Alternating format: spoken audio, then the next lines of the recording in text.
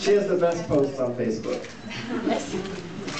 Este, ese video que acaban de ver, este, lo, fotografió y lo editó Arturo Manríquez, que es de León, Guanajuato. Arturo es, este, empezó como cineasta joven aquí en León y hace muchos de los proyectos que realiza el festival. Fue para el festival, para la grabación de esto. Este atrás de las cámaras y han estado en comunicación por medio de Facebook y, y ven la posibilidad que a lo mejor trabajan juntos en el futuro. And we also have another filmmaker from, uh, and cinematographer here that filmed a lot of that video. It's right here, David. Stand up, David, turn around.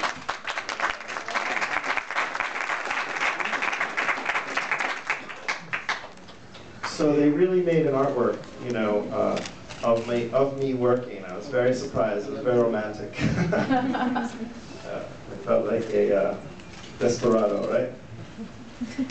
Dice que la verdad hicieron una obra de arte, de yo haciendo arte, un- eh, muy romántico y un poco desesperado, este, como un desesperado, como un...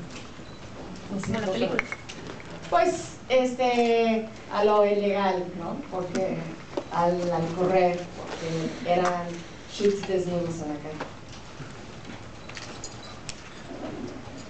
I'll just talk more.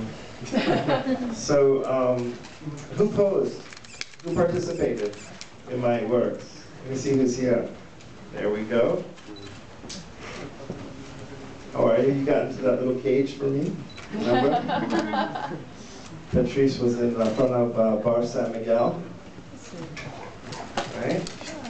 And you had this beautiful portrait with flowers. Yeah. Very, that was awesome. Were you bleed? You were bleeding, right? A little blood or no? Yeah, See?